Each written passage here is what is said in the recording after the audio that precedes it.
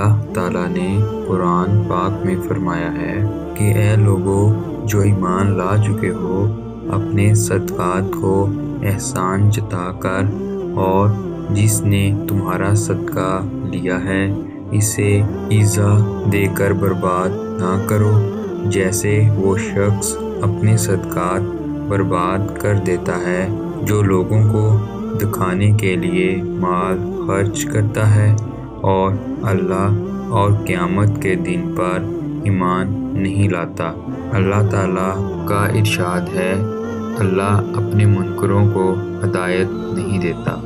और अल्लाह पाक का इरशाद है, भली बात करना और फ़कीर की सख्त बात को माफ़ कर देना इस सदका से बेहतर है, जिसके नतीजा में इस शख्स को जिसे सदका दिया गया है, अजियत दी जाए कि अल्लाह बड़ा बेनियाज, नहायत बुरदबार है।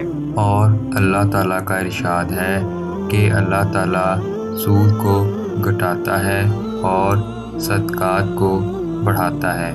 और अल्लाह ताला किसी नाशुक्र गुनाहगार को पसंद नहीं करता। वो लोग जो ईमान लाए और नेक अमल किए, नमाज़ कायम की और ज़क़़त दी। इन्हीं इन अमाल का इनके परवरदिगार के यहाँ सवाब मिलेगा और ना इन्हें कोई खौफ होगा और ना वो गमगीन होंगे।